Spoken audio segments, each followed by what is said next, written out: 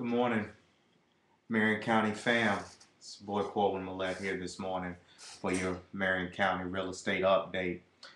Want to touch bases on the number of properties on market again this week. Um, we've had, on this past week, we had a little bit of activity, a few properties that went under contract. Um, a few properties have sold. Um, so this always makes for a healthy real estate market, people buying and selling houses. Um, currently, there are 149 properties that are either um, active on the market or active on the market that are under currently under contract. Um, there are four properties that have sold in the Marion County area within the last, um, starting with a, a, start date of um, October 1st. Actually, this past week, two properties um, have sold, and I'm going to highlight those in a moment. As far as your active properties on the market, the price ranges range from a low of um, 10500 to a high price of $569,000 um, that average price being 125,000 for 12 as far as an average price point. Um, as far as the properties that have sold, the lowest price is 38,000. The high property is 160,000 with an average of 86,375. Um, as far as those properties that have sold, the two recent sales um, have actually been um, one in Marion and one in Mullins.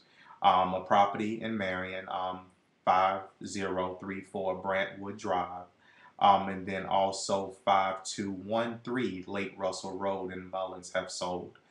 Um, the property on Lake Russell Road sold for $160,000. Um, it was a three bedroom, two bath home, um, had a one car garage.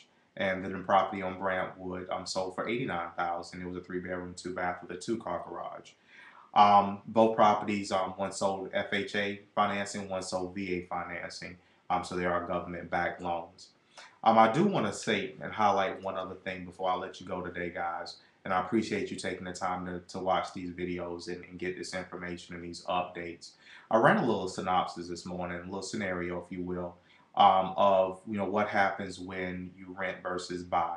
Um, if you're paying $500 a month in rent, um, and what I did is said, oh, you're paying $500 per month in rent. Of course, you have renter's insurance, in most renters, you do have an increase in rent periodically, usually every year. Um, most landlords um, apply anywhere from a 5 to 10% um, increase annually on rent. So I use 5%. Um, I compared it against the purchase of a $70,000 home, saying no appreciation and value stayed stagnant and there's nothing went up, that you did a little bit of savings, that you had a tax rate of approximately 33%. Um, you had a loan amount you financed at 100% with a 30-year term at four and a quarter on an interest rate. These are the, some of the numbers that I use in comparison. Long story short, including maintenance and, and insurance and um, taxes on the home, um, owning a owning a home for seventy thousand versus paying five hundred dollars a month with an annual five percent increase, owning will save you twenty two thousand three hundred and four dollars versus renting during the same time period. That's substantial. You want to talk about your child's college fund, um, those things. That's where your money is right there you're putting your money in rent versus putting your money in ownership and saving yourself money to be able to do those other things. Marion family, I appreciate you. I love you. I'll talk to you soon.